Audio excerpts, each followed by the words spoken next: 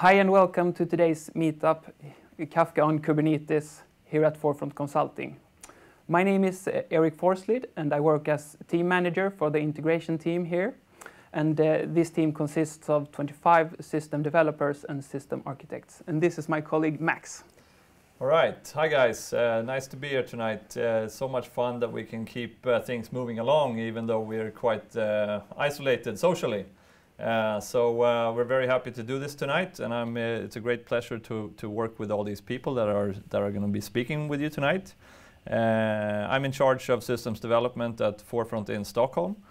and I'm going to take you through a brief intro before we run through the agenda, and then we will start the sessions. So, Forefront. Uh, we're uh, quite a large company nowadays. We're about 400 people. Uh, we do a lot of work with uh, in three different areas. Uh, management uh, consulting. We do uh, work with uh, uh, our division channels that do more user experience stuff. And then we have technology, which is represented here tonight. So that's basically a, a quick run through of our, our business. What we do in technology is quite a wide scope. We uh, are obviously focused on technical development, and tonight we're going to be speaking about three areas. Uh, we're going to be doing some data integration and event streaming uh, commentary, and then we're going to talk a little bit about integration in general, and we're also going to be talking quite a lot about platform and uh, Kubernetes. So uh, that's about it for uh, the technology side. Um, we have a strong belief in teamwork, and uh, I like this quote by Steve Jobs that uh, my model for business is the Beatles. They're done by one person, they're always done by a team. And that's very much the philosophy we have together with our customers and the speakers tonight and what we do on an everyday basis. So it makes work quite a bit more fun. Uh, so uh, basically we focus on the implementation level when it comes to technology. Uh, and the other part that we also have a lot of fun with is of course innovation. And uh, some of the uh, stuff we're going to be talking about tonight is about feature to production cycles and how we get them moving fast and precise. Uh, and this requires always, at least in our uh, mind, uh, trade-off between value on the one side and learning on the other side. And we need to get that trade-off right to, to create value from all this fun technology. so Tonight also we have the great pleasure to announce uh, our collaboration with Red Hat. Uh, this has been an ongoing work for um, the past uh, five years or so. Uh, and we keep getting better all the time. And Red Hat also moves a lot of uh, exciting technology to the market. So um, uh, the Red Hat mission uh, is create better technology the open source way, which rhymes very much with what we like to do, which is to guide organizations through the digital landscape. And uh, we also have a lot of collaboration with Stakater, who have some of the speaking slots tonight and particularly in the area of uh, Kubernetes, where, where there is uh, a lot of technical challenges and we need to pull together to make successful cases. So, just to run through the agenda a little bit. Um, we uh, are doing the welcome session right now. Just shortly we'll be starting, and uh, the first session will be from legacy integration to Kafka on Kubernetes. And uh, a little fun commentary on, in that area is that this is the first mover application area for, for ICA. So we're kind of uh, uh, uh, overcoming some of the initial challenges, finding solutions, and making things work in a, in a better way together. Uh, after that, we have Cloud the great pleasure of uh, Claus Ibsen will be speaking uh, in, in his uh, Mr. Mr. Camel, at least in my view, Uh, and uh, run through some of the innovative uh, solutions coming out of, of, Red Hat and how we can make them work.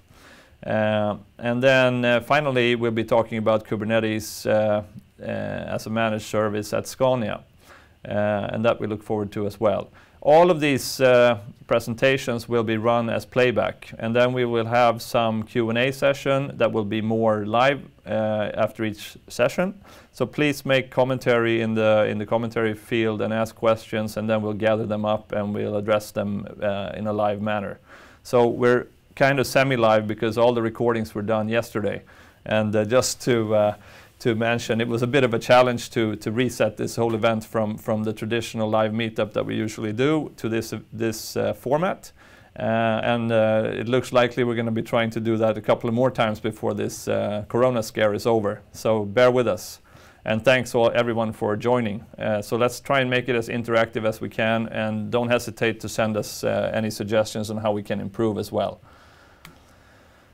Uh, so how do we do this? Presentations are mostly pre-recorded, as I mentioned. Uh, speakers are available for Q&A live afterwards. Uh, we would love if you have some questions for us, uh, and then we will reply to them in the short breaks in between.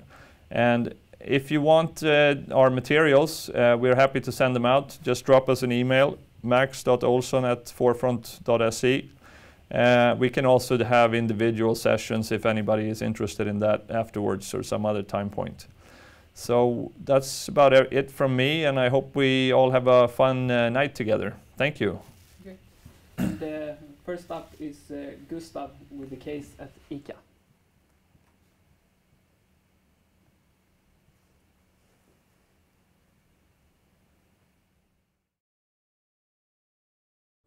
Welcome to this talk about uh, moving from legacy middleware to Kafka on Kubernetes at uh, ICA. And yeah, I think you all heard about ICA before. It's uh, Sweden's largest grocery retail company. And uh, I would like to talk about how we introduced Kafka as an enterprise integration platform there. Uh, I will take you through how the project started in the beginning and sort of focused on a value-driven lean approach. And we will go through sort of the initial requirements, move up until where we are today, and even take a little glance on the future. So, yeah, uh, my name is Gustav Norbecker, and I'm a consultant at Forefront. Uh, I'm a software architect uh, working mostly with system integration and has been so for sort of 10 years. Uh, I've been working a lot with Kafka for the last couple of years and uh, mostly helping customers to introduce Kafka uh, all the way from deployment of actual product to architecture moving on to sort of education and even some governance. Been working mostly in the banking and retail sector, and you'll find my sort of email at the bottom there if you want to reach out and ask me something.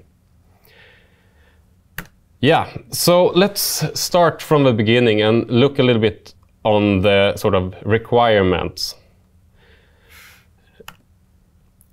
ICA was sort of growing out of its current integration platform and looking to sort of deploy a, a, new platform with the following requirements.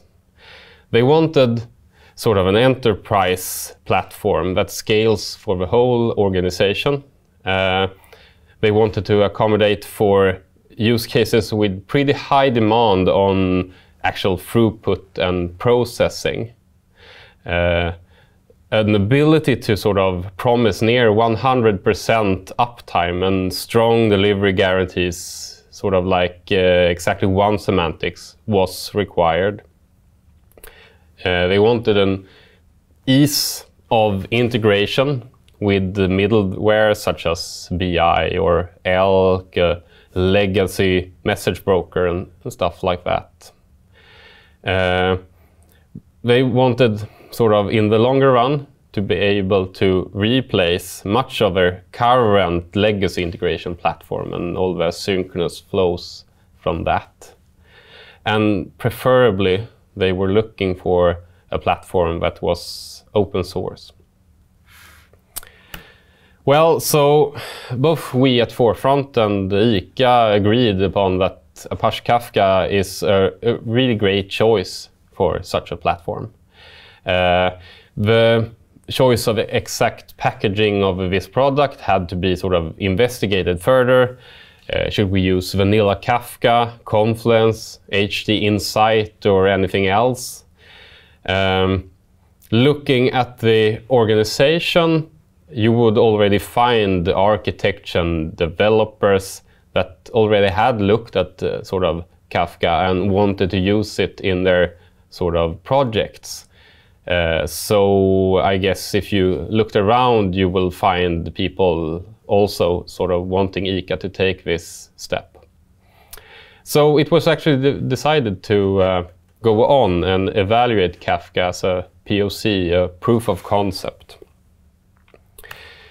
But I might as well beforehand talk a little bit about what is actually this, what is Kafka. Might, it might be that not all of you have heard of, used, uh, or actually know all the, the, the details of this product. So it actually comes from LinkedIn. It's now a decade ago that it was actually sort of started.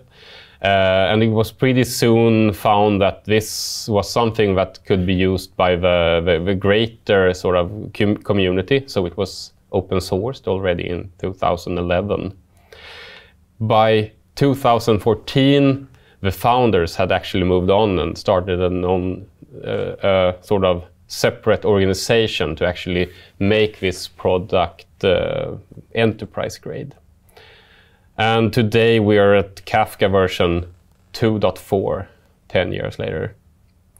So you can actually handle pretty large uh, sort of setups with Kafka. It's a distributed message broker, and uh, the largest setup today, I guess, is around the figures mentioned here. It's 4,000 brokers uh, set up in a network, and actually handling 2.2 trillion messages a day and uh, sort of having six petabytes of storage. I'm, I think it's still at LinkedIn, if, if I'm not wrong.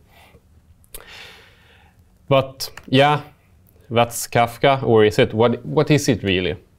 Well, it's this message broker that you can sort of deploy and, and run for your whole organization. It will scale almost indefinitely.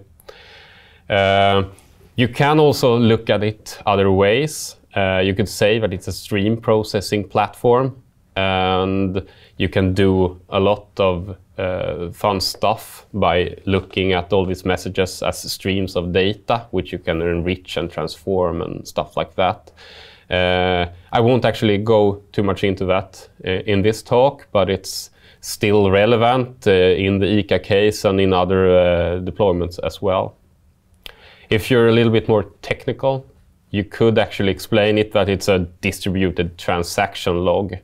Uh, you, you write to it incrementally, you can consume from it in your own pace, and you can sort of divide it up in millions of different partitions, which could scale horizontally, uh, sort of how much you want. We could sort of mention what it's not as well. Uh, it's a common misconception that it's a database. Kafka is not a database. You read from it sequentially. You can do stuff like query it in some ways, but it's sort of a niche case. And uh, I would say if you need a database, you should get a database. Uh, for this message broker, it's a better choice. I wouldn't either say that it's sort of a smart broker. It's a very fast and high performant broker if you want to do uh, smart things, you will do that in the clients. So they can handle a lot of sort of that logic and the, the central broker sort of uh, just handles the throughput. But you can sort of mitigate around that. And I don't know if I'm scaring you. I, I won't say Kafka is easy. It's distributed. It's a lot of storage it's pretty hard to manage. But we will look uh, further on here on how to actually ease that pain. Yeah, so I mentioned a POC. Let's take a quick look on how that sort of started. Um, while ICA had a fair knowledge of what Kafka actually was and its feature set, they wanted to sort of dive a little bit deeper into the following aspects. So performance-wise, how much data could Kafka actually process in their preferred setup? Uh, throughput versus latency. How low could you actually get the latency from producer through Kafka to consumer, and at what cost regarding performance could you get this? So we could actually elaborate and sort of uh, uh, tweak the configuration to, to get a, a sweet spot.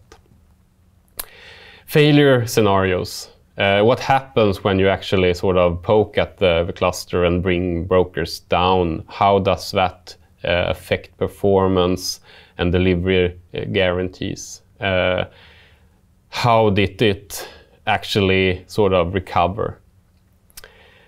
We had to take a little look on monitoring as well. Did we want to sort of buy a monitoring tool that handles uh, Kafka explicitly, or did we actually want to move on with uh, what we already had at ICA to sort of manage different systems? So by running this POC, we could actually get a good view on how to proceed with the implementation.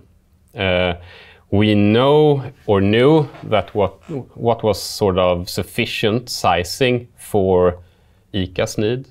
We could dive into sort of hundreds of configuration parameters in Kafka and see what was a good baseline for ICA. And we could sort of decide a little bit more about what sort of package of Kafka to use. Did we, we, I think we actually ended up here saying that we wanted to use a community-based Kafka version, uh, much to minimize uh, sort of startup costs.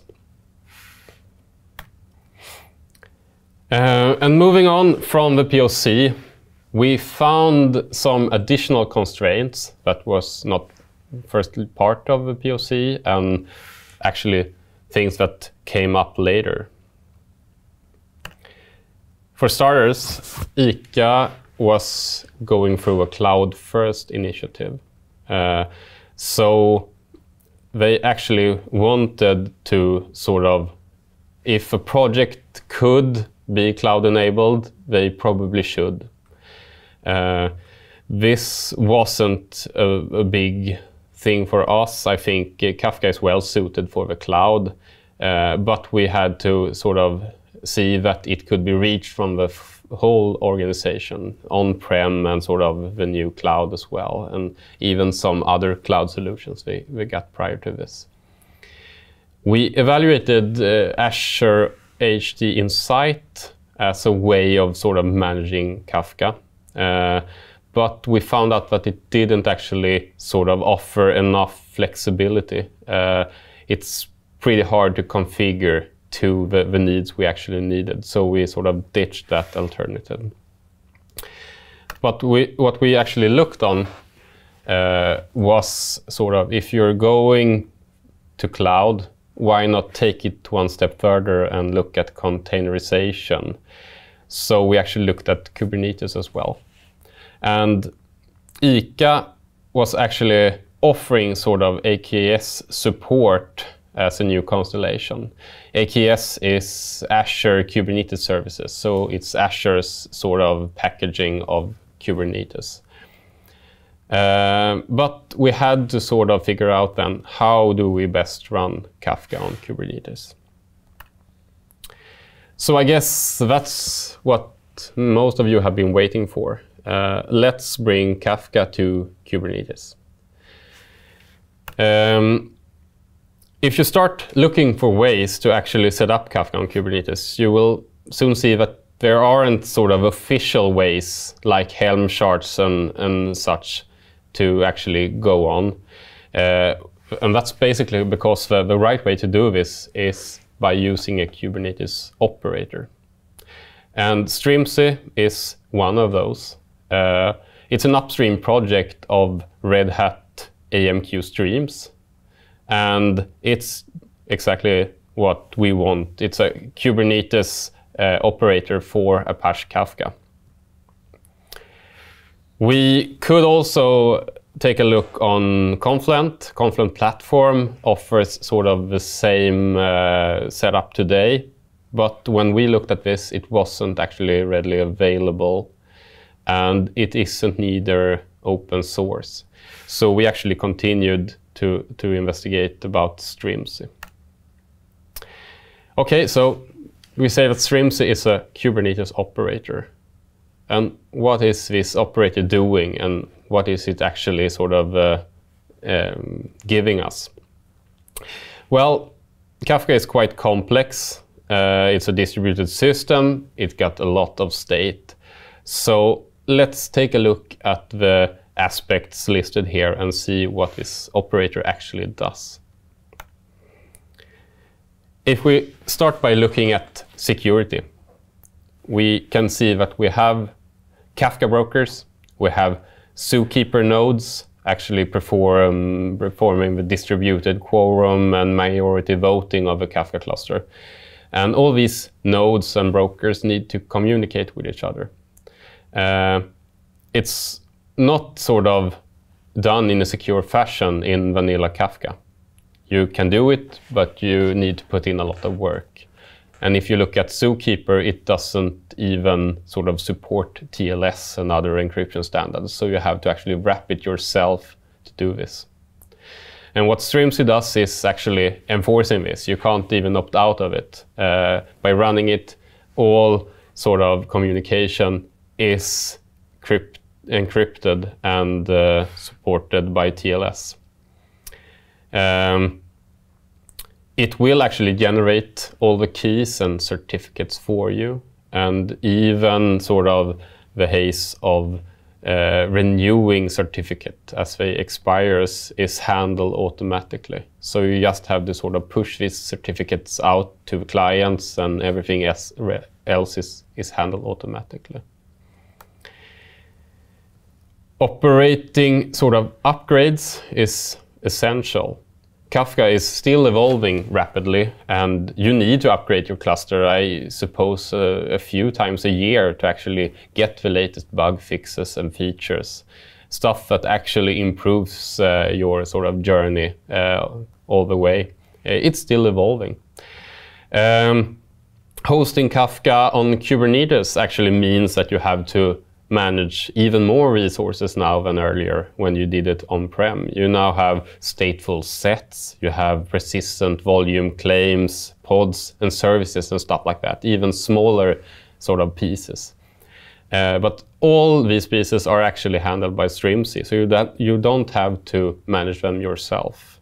Uh, upgrades are handled automatically. And this is sort of a multi-phase uh, solution where the, the pods are actually rotated one by one. So you don't get any downtime while doing an upgrade.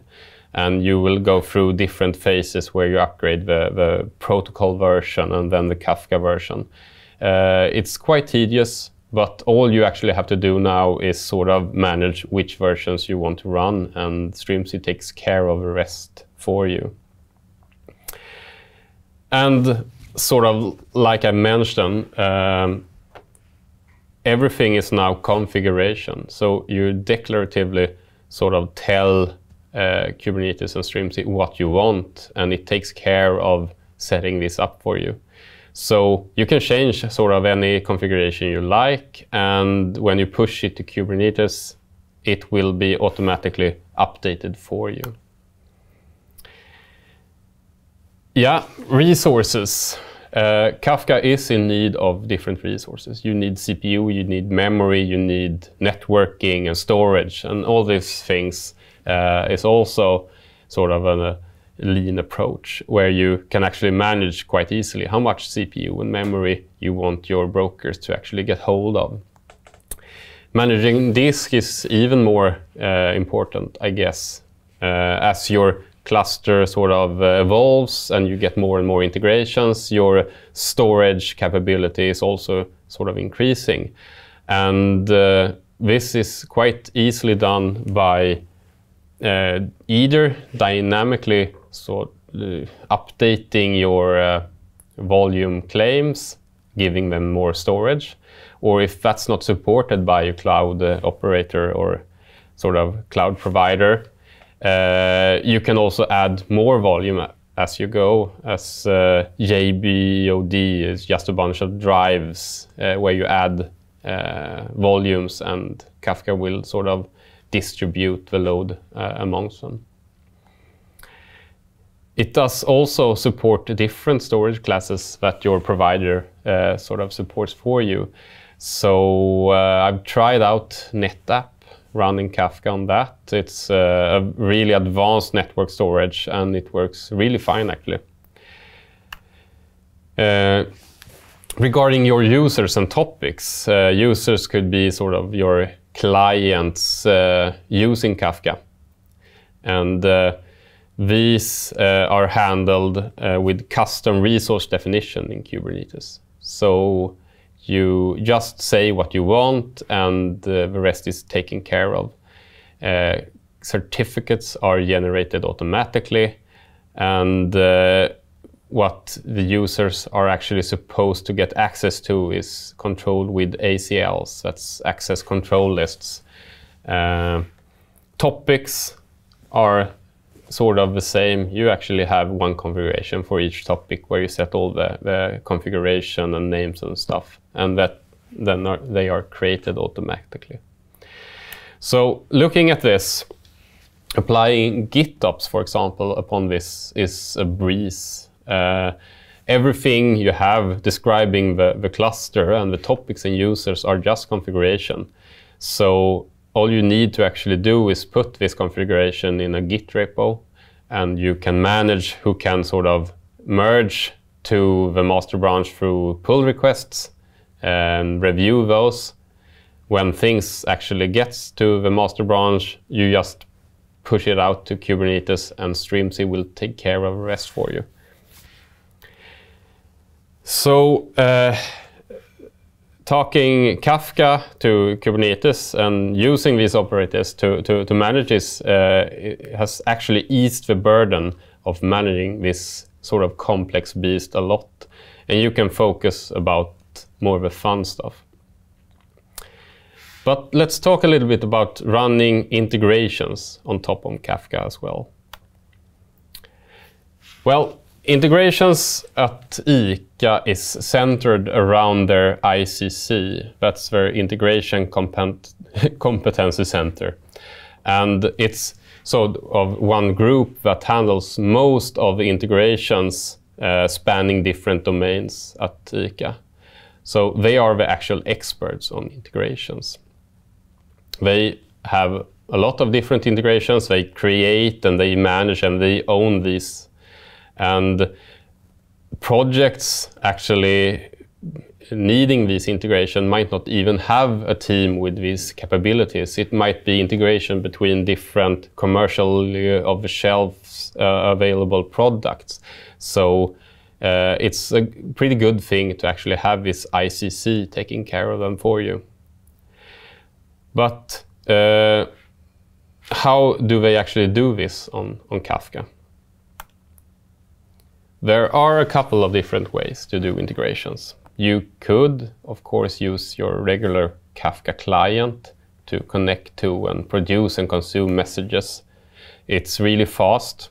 It is sort of hardcore, but I mean, if you need a, a little bit more of complex or you have a complex integration, uh, I think it's the way to go.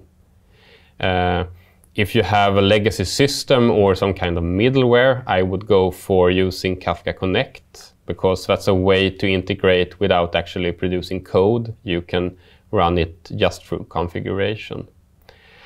Uh, Kafka REST is just an, a bridge on top of Kafka, sort of, uh, sort of uh, giving access to to the topics uh, with an easier interface not maybe focusing on the highest performance, but it's a, a lightweight or low entry way of actually sort of communicating.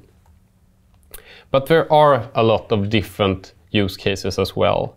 You might want to do some transformation or some kind of enrichment. How would you actually perform those? Well, Apache Camel have been a lean way of, of creating complex integrations for the last decade or so. And now with Camel 3, so, sort of released, uh, I think it was the last quarter of uh, 2019, uh, offers a containerized serverless approach uh, with Camel K. Camel handles several hundred different types of integrations. You can do file integrations, mail integration, you can even do Twitter integrations, and anything sort of in between there. Uh, it's an easy way of doing transformation, enrichment, and it handles a lot of enterprise integration patterns. Um, it also sort of integrates readily with a, a sort of sorry Kafka Connect. So um, it's a, great way of sort of mating these two together. Uh, and our next speaker, Claus Ibsen, who is sort of the king of Camel will actually dive deeper into the aspects of Camel and Camel K. Yeah, well, ICA has been running Kafka for a while now, and some of the uh, larger initial projects are already running on top of Kafka. The focus now continues on actually handling smaller integrations and doing this in a repeatable and easy way. Uh, and we will move on sort of phasing out more and more of a legacy integration platform. But the time is, I guess, running up. So let's take a look back and summarize uh, sort of the key takeaways here. Well, we can see that Kafka runs really well on Kubernetes. Um, it takes the burden off handling the complexity. So we can actually focus on the value-driven aspects, uh, just telling how we want things to sort of act and react, and uh, all the small different pieces are handled automatically. Uh, the distributed nature of Kafka and its ability to scale makes it a, a great a, great candidate for handling asynchronous messages for the whole enterprise. We can have sort of one big deployment and we can handle everything from one place. And it sort of uh, goes well with this ICC. It can also be uh, a good way to hide complexity because Kafka can be quite complex. But by sort of owning it in the ICC and handling a lot of integrations from there, we don't actually need to sort of show this complexity to the whole organization. And for sort of integrations uh, with uh, more specific demands on transformation and handling, uh, we can leverage this with Camel K and make a real lean integration sort of layer on top of Kafka. So if you want to make an integration, you can sort of run it uh, with Camel K. If you have a more complex messaging uh, sort of project, you can, uh, what do you say, um, use the, the performance of Kafka in the underlying layer. Well, yeah, uh, that's sort of everything I've got. I guess you all have questions, so let's uh, go through those. Um, thank you.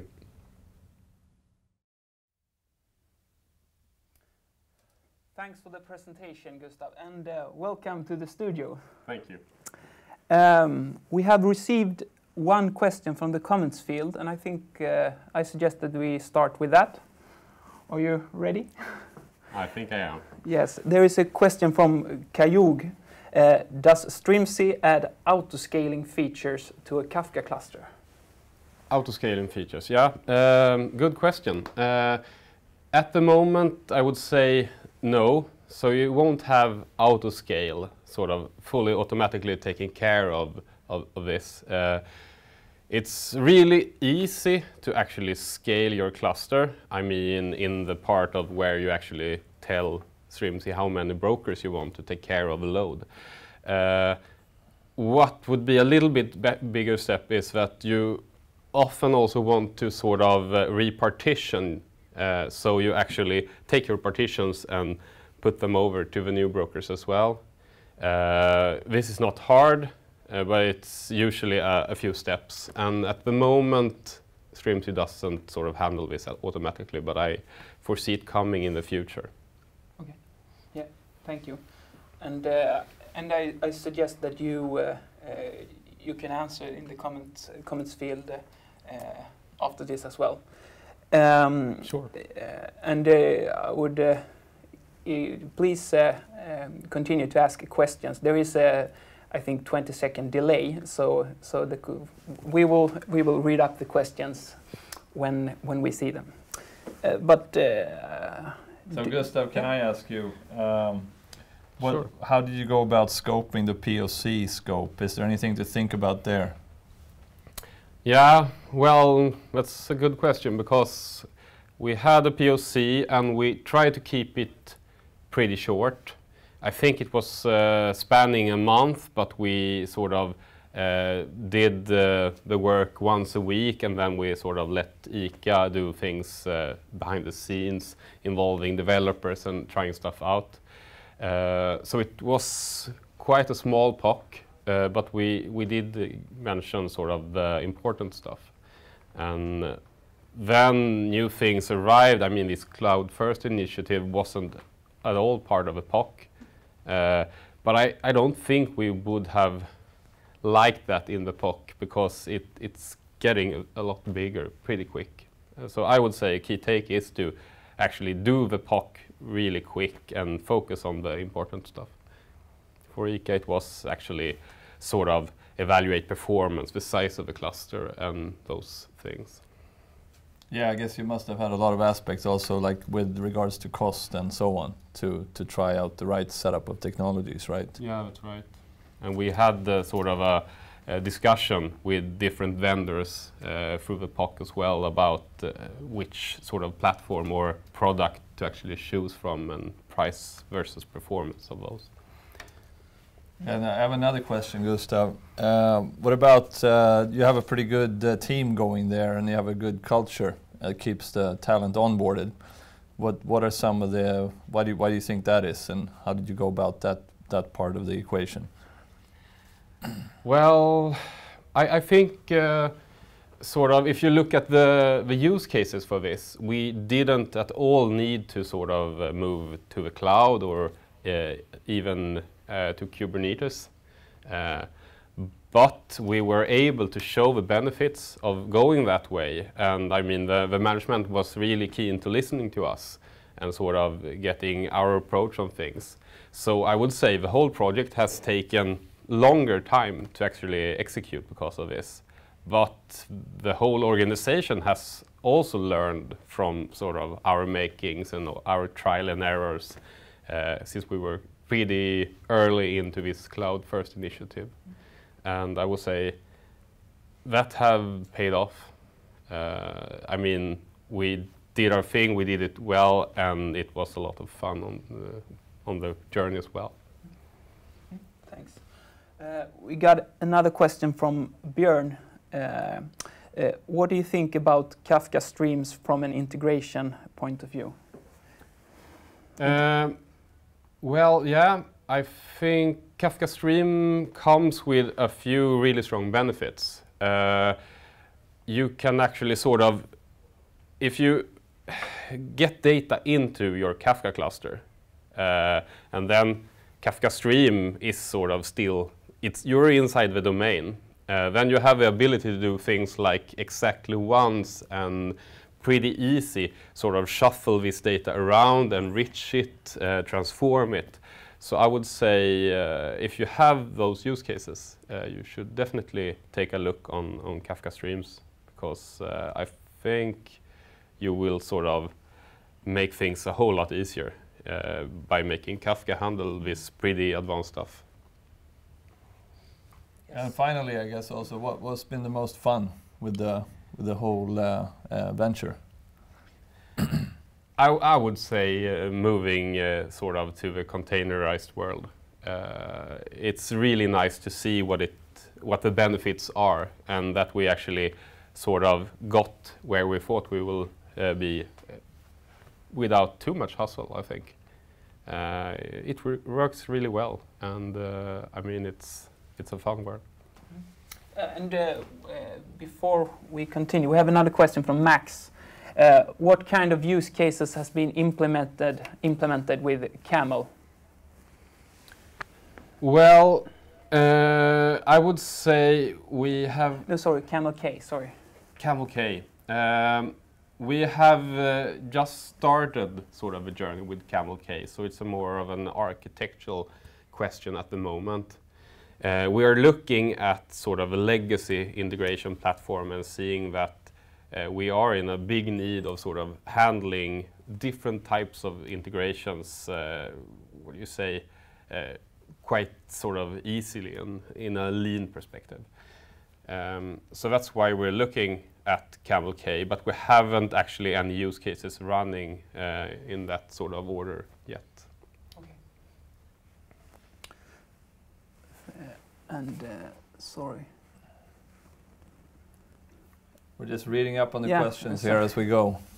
Yeah, but I think there was no more questions for the moment. Thanks a lot, Gustav. And um, uh, next speaker is uh, Claus Ibsen, Claus Ibsen from uh, Red Hat, and he will he will speak about middleware and integration architecture modernization. And uh, unfortunately, Claus is uh, not joining us uh, live here at the studio today, but he will he, he will be online answering your questions. But uh, after his uh, his session, we will come back come back here and uh, discuss his session together here. So next up, Claus. Hello and welcome to this presentation about best practice for integration architecture modernization with Apache Camel. My name is Claus Ibsen and I'm a software engineer from Red Hat. Um, I've been working on Camel for a long time as the tech lead, wrote a couple of books on Camel. Uh, I'm from Denmark and currently live in Denmark, but I have uh, lived for 10 years in Sweden, in Malmö. So yeah, it was near Denmark anyway. So in this presentation, we are mainly talking about Camel, but you know how Camel has progressed over the time from you know traditional uh, enterprise um, ESB systems to uh, modern cloud native. So before we start, what is Camel? Uh, well, Camel is the Swiss Army of integration. It's one of the most active projects at Apache Camel. It's been active for over 12 years. Uh, it's actually a giant Swiss Army knife with a lot of functionality. So what do you use Camel for? You use it for integration, so to integrate different systems, you know, and then you can use Camel to plug in between and glue the systems uh, together. So Camel is a Java-based integration framework. It has great runtime support for many of the great runtimes you know today with Spring Boot, and we're going to see about Quarkus, Java E, Microprofile, and so on. It's based on um, the ideas from a book called The Enterprise Integration Patterns, and comes with a lot of components, which you can think of like Kafka connectors. And you mainly use um, DSL, uh, which you can write in Java XML to define and describe how systems are integrated in camel routes, and it can integrate with almost everything. And speaking of routes, here are two examples. Very simple one is just a straight one-to-one integration between a file and a JMS queue. So in Java code, you just say from file to JMS, and in XML you can do the same. At a runtime, it doesn't matter from Camel; it becomes the same on a node. So just to give you a quick overview of Apache Camel 3 and the projects we have here, which will be relevant for this uh, presentation. So we have Camel, which is the Swiss knife of integration. Then you can run Camel on Spring Boot. And then we have Camel on OSGI. And then the following three we're going to focus on in this presentation is Camel K for serverless Camel on Kubernetes. Then we have Camel Quarkus, which is a, a fast camel, also native compiled with Graal. And then at the end, we talk a bit about the latest product, Camel Kafka connectors. So let me just spend a little time talking about the evolution of integration from the lens of Camel. So um, over 10 years ago, this was the Camel website. This is the oldest I could find is from uh, January 2009. And this was our website for a long time, but today we have an, a modern website. so back then, uh, many years ago, it was based on the principles of SOA. It was good principles with contract first, uh, loose service coupling, uh, reusabilities, and, and composability, and, and so on. But it tends to be this centralized software and teams where things they become a bottleneck. It's not um, designed for chains, and it's not cloud friendly. It's not uh, immutable containers and all that kind of things. So, uh, if you look at an architecture from back then, this is a very very old one. Uh, you may not know it, but it's the, based on a specification called JBI. So there was a product called Apache ServiceMix that was created created around this specification and ServiceMix and was one of the you could say fathers to Camel. So inside ServiceMix there was a routing engine and that became Camel.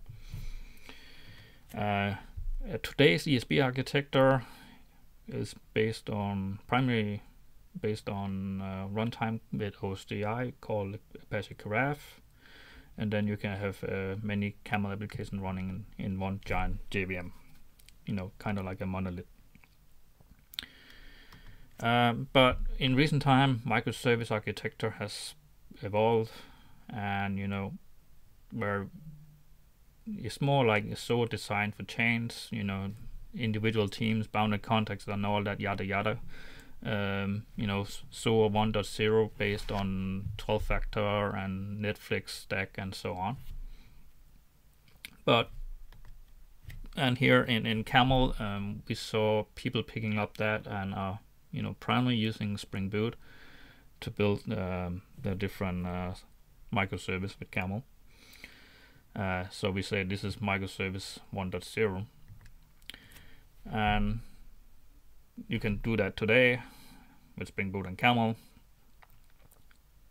and but lately and what we're going to focus on in this presentation is focused on cloud native architectures where you know we have a infrastructure that can aid your um, applications. So you have application concerns separate from the infrastructure concerns.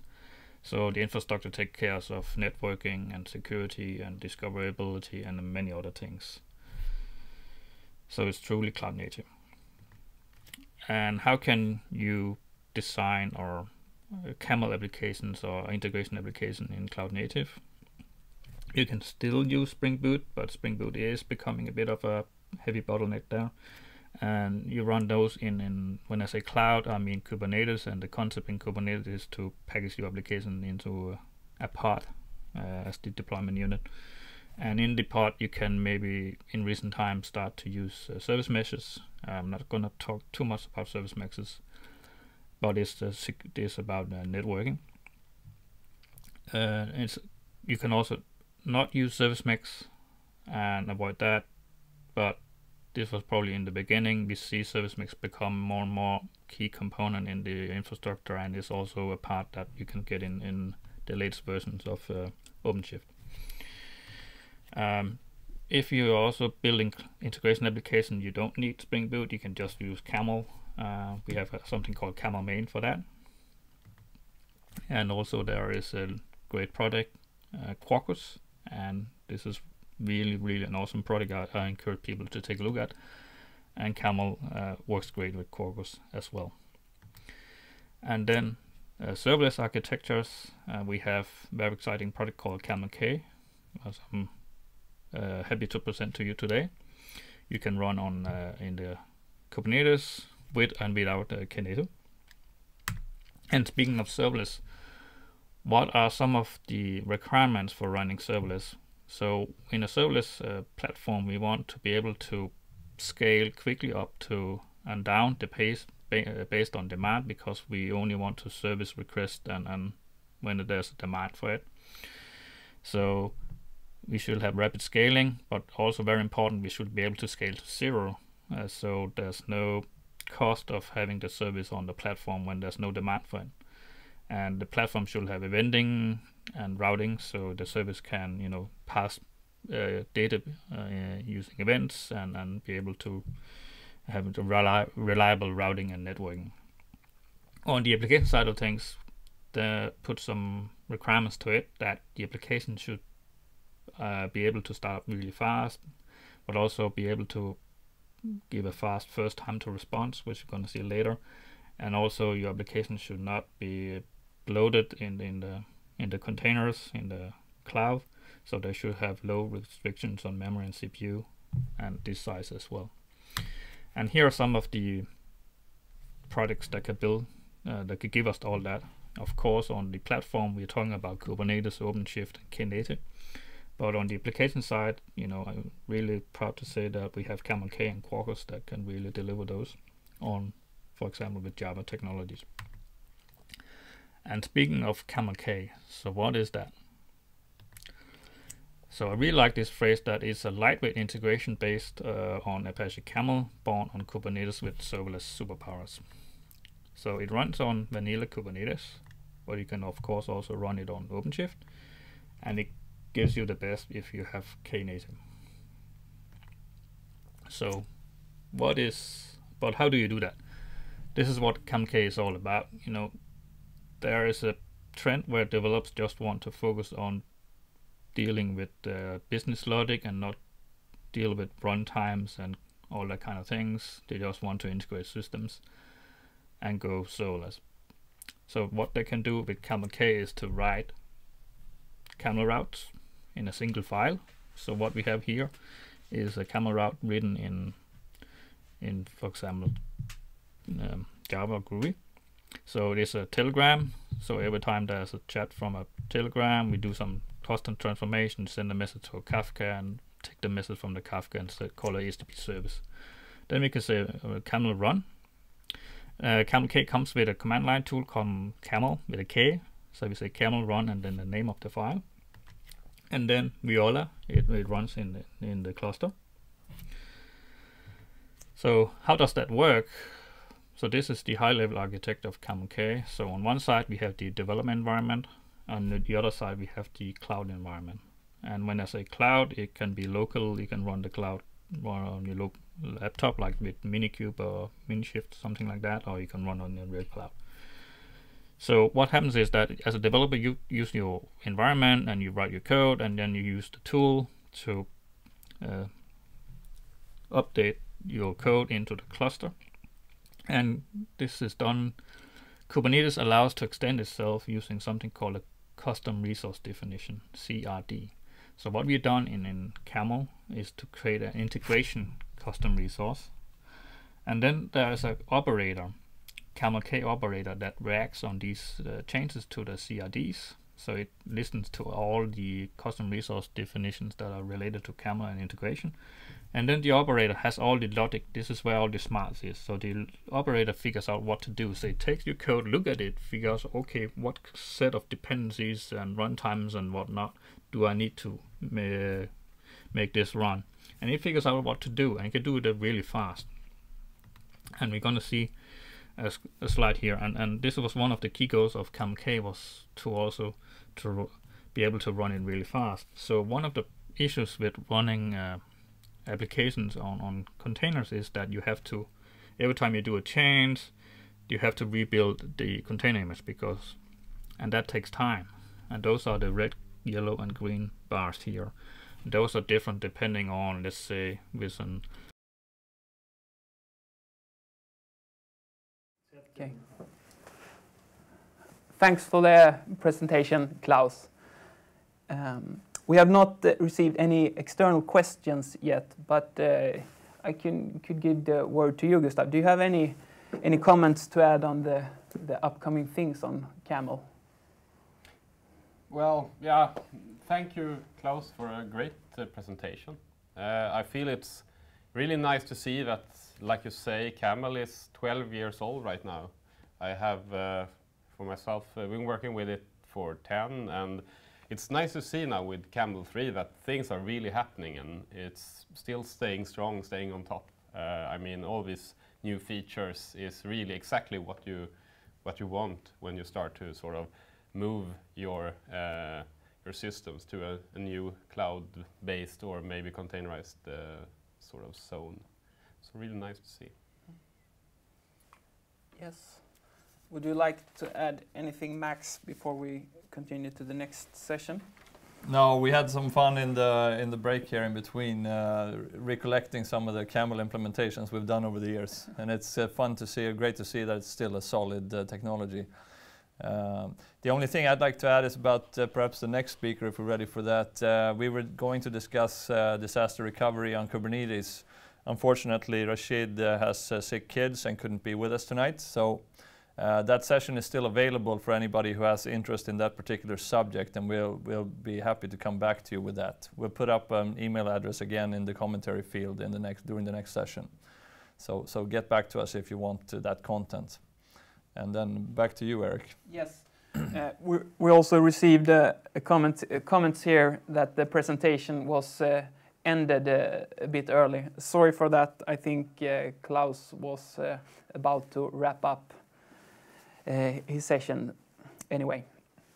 But uh, for the next session, we have uh, Hasim from Stakater, who would who will talk about Kubernetes the hard way to manage at Scania. So, welcome up, Hasim.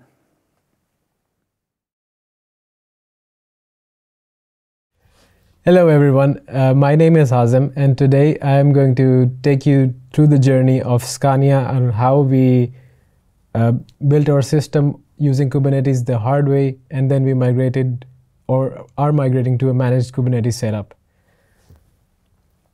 Uh, so let's start a bit about myself.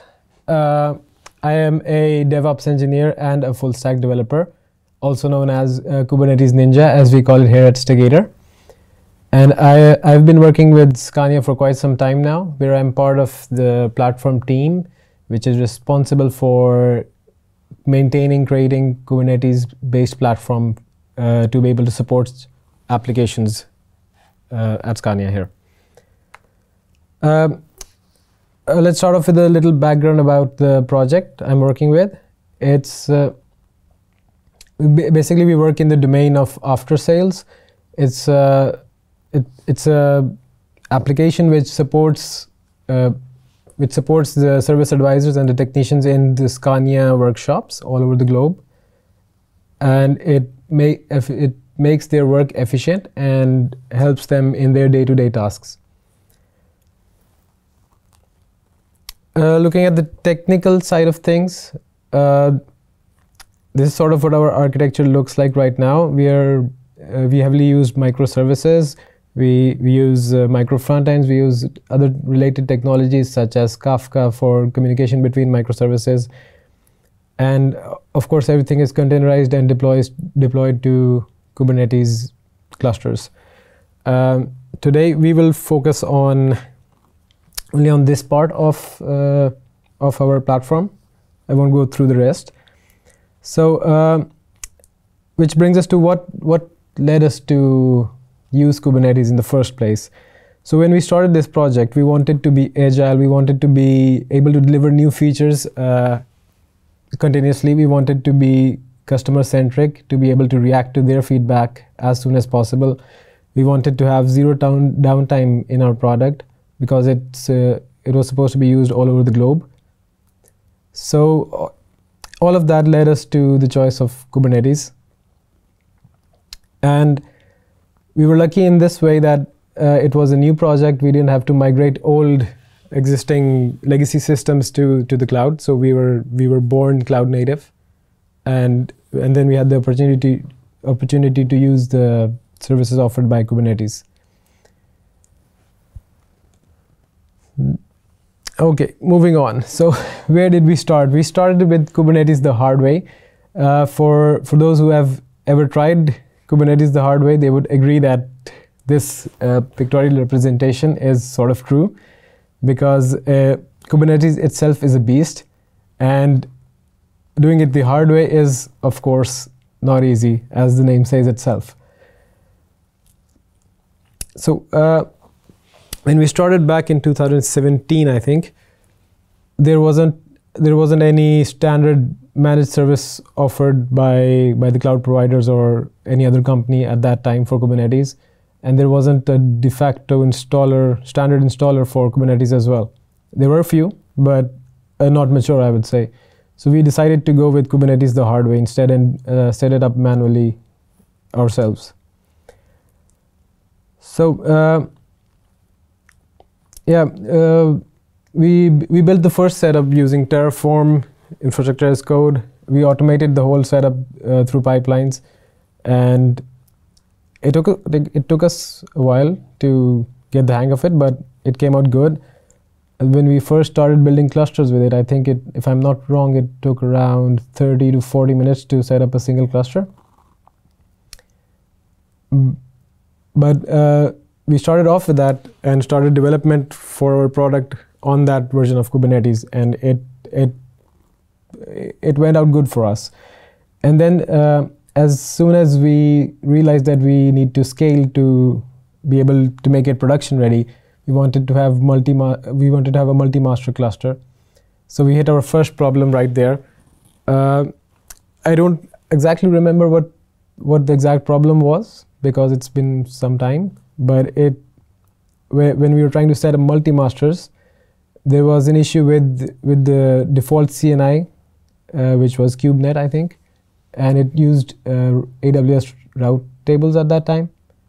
So we figured out we, we, we would need to have a custom CNI installed, and then we installed Weave on Kubernetes the hard way, which wasn't easy, of course, even though guys at Weave have made the installation pretty simple.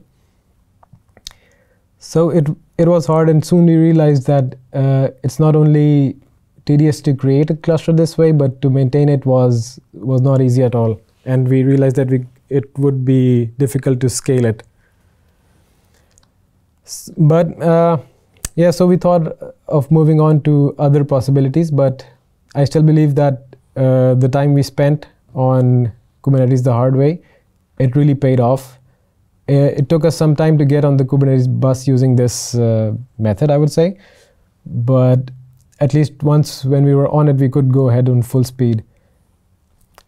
Um, uh, for for anyone who hasn't tried Kubernetes the hard way yet, I would recommend that you give it a try just for the sake of learning because it's uh, it's like the it's like the holy grail of uh, Kubernetes. Yeah. Uh, yeah. So moving on after after this attempt, we evaluated some we evaluated some installing tools such as COPS, KubeADM, KubeSpray, and for us, it turned out that COPS seemed to be a good fit. It was quite popular at that time as well, and it was uh, we were impressed on how easy and quick it was to actually set up clusters using COPS after Kubernetes the hard way, of course. And I think the best part about COPS was its singular cluster.yaml file, the config file we used to create or configure the clusters. It was a single file to set up the whole cluster, and even setting up a multi-master cluster was uh, was simple in the YAML file, and the CNI was like I think two lines of uh, code in the cluster.yaml, and it was it was very easy to scale it up uh, to a multi-master cluster, and then also to replicate and scale into different clusters as we did when we started with COPS. And the solution is uh, or was pretty future proof. Uh, we're still using it. We're still using uh, our clusters on COPS. It's it's I think it's still the best way to create a cluster if you're creating it yourself. And yeah, and the cluster.yaml, the best thing we liked about that was we store every configuration in Git and we uh, deploy all our clusters through pipelines, uh, not just by CLIs, even though Kops has a good CLI. But it was really easy to incorporate into pipelines and for us it was it was the best fit and it still is uh, but eventually uh, we're now planning to uh, move on to a more managed solution so that we can we, so that we don't have to take care about all the underlying architecture of kubernetes the things running on the master and the underlying operating systems. So we are looking into uh, a managed solution, and we're thinking of uh, we're thinking of going with Amazon EKS because we are already based in AWS. So it seems to be a, the best choice for us right now. So first we tried out EKS with Terraform, e- even though Terraform has first-class support for EKS. uh, we quickly realized that it's, it's it might not be the best way to create a cluster using uh, Terraform, create an EKS cluster using Terraform. So then we explored EKS CTL, which is now I think the standard way to create an uh, Kubernetes cluster using EKS by Amazon itself as well. So we're on we're on that right now, and uh, yeah, but yeah, I think ma- the managed service has its benefit, but it has its limitations as well. Uh, if if you want to customize uh, the Kubernetes installation, it's pretty hard to be able to do that because of uh, a lot of restrictions. Uh, for example, we wanted to have a custom OIDC authenticator and authorize, authorization for Kubernetes cluster as we already have with the COP solution, but it's not as simple to set that up with EKS, I would say.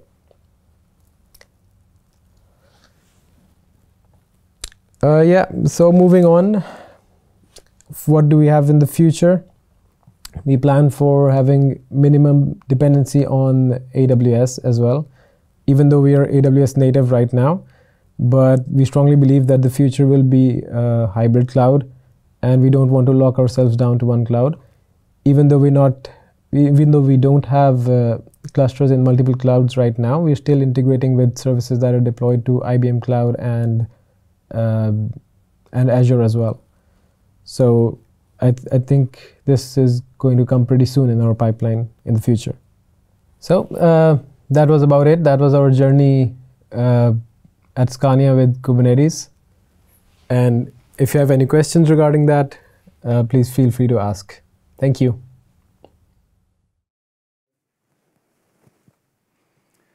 Thanks for the presentation, Hasim. We have we have now received some some questions in the some questions here, but they are very from from what I can see they are very case specific. So uh, Hasim will will answer them as soon as possible uh, directly in the in the in the comments field. Uh, or sorry. Yes, yeah, Hasim will answer the questions there. And I also had to say sorry for the technical issues with with Claus' presentation. Very unfortunate. And before we wrap up this, do you would would you guys like to add something? Well, I, I can add that uh, we're very grateful for any feedback you'd like to give us, and we're very grateful for your participation as well. It's it's good that we can overcome some of these uh, challenges with not being able to be together in the same room. Uh, so we have some plans going forward with uh, GCP and um, machine learning, IoT, and smarter cities. That might be one theme we'll do up up and coming here. We have another theme around micro front ends. So if you have any other ideas or any ideas that play into those themes, uh, please uh, email us and, uh, and we'll try and get you involved and engaged uh, when we do this coming up. We still need to learn and have some fun, even though we're sitting at home most of the days. Uh, so that, that should be good. Uh, apart from that, I just want to thank you all for participating. It was a lot of work for us to try and uh, rearrange everything. And, and uh, again, we apologize if, if uh, every detail was not perfect, but we'll make them perfect next time. So, so thank you all. Thank you all.